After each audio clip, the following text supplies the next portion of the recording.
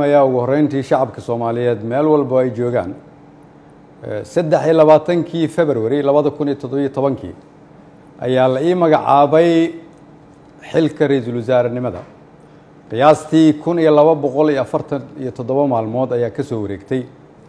Muddadaas saddexda sano iyo barka ah waxaan dalka soomaaliyeed ugu adeegayey daacadnimo karti iyo hufnaan anigoo aaminsan inay ahayd waajib dalkayga iyo dadkayga iga saaran.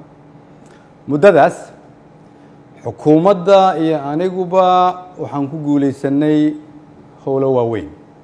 Waxaa ka mid ahaa inaan dibu habeyn ballaaran oo dhaxalgal ah ku samayno ciidamada qaranka oo maanta soo gaaray meel ay u diyaarsan yihiin inay la wareegaan amniga guud ee dalka. Inaan dibu habeyn ballaaran ku samaynay nidaamka maaliyadda dalkeenna oo dunidu noo soo istaagtay. Soo celinay kalsoonidii uu caalamku nagu qabay kuna qabay hay'adaheenna dhaqaale oo inoo saamaxday in laynaga cafiyo deyn lagu lahaa dalkeenna muddo dheer. Dadaalkaasi waxa uu ku dhacay soo jeed iyo iyadoo la geliyey wakti badan. Waxaan la dagaalanay musuq maasuqa waxaan gudbinay shuruucdii ugu badnaa ee xukuumadda ay gudbiso waxaan ku guulaysanay mushaarka shaqaalaha bixinteeda iyo mushaarka ciidanka oo bil walba laga soo bilaabo janaayo labada kun iyo toddobiyo tobankii uu qof waliba qaatay. Waxaan ku guulaysanay dowlad wanaag iyo ammaano waxaan ku guulaysanay annagoo dib u soo nooleynay sharaftii ummadda soomaaliyeed. Si loo ilaaliyo dhammaan guulahaas ay xukuumadda iyo shacabka soomaaliyeed gaareen dhammaan shacabka soomaaliyeed oo qeyb ka ahaa rabana in la sii joogteeyo waxaa lagama maarmaan ah ilaalinta nidaamka awood iska wareejinta dalka oo si dimuqraadi ah u dhacda. Anigoo gudanaya waajibka arrinkaas iga saaran ayaan xukuumadda faray inay ka shaqayso in dalku aado doorasho lagana fogaado muddo kororsi oo dhalin kara khalkhal siyaasadeed mid amni iyo mid dhaqaale. Waxaan ka shaqaynay isu keenidda dowlad goboleedyada iyo dowladda federaalka.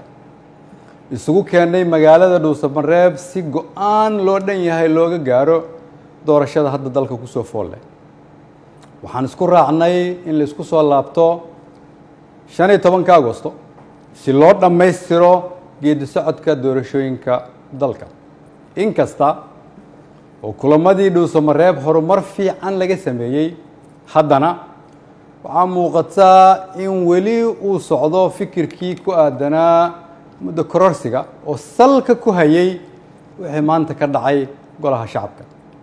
Fikirkaas oo aan mar hore ka digay oo aan aaminsanahay inuu keeni karo khalkhal siyaasadeed dalkana dib u celin karo.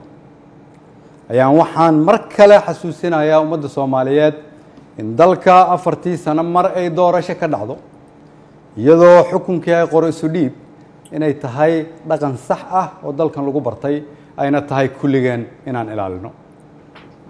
Anigoo og intaas anigoo og in wixii maanta golaha shacabka ka dhacay ay ahaayeen sharci darro aan loo marin habraacii saxda ahaa ee xilka qaadis xukuumadeed anigoo og inaanay ku jirin ajandaha anigoo og inaan laga doodin. Anigoo og inaan loo codayn. Anigoo og inaanay waafaqsanayn dastuurka iyo shuruucda dalka. Haddana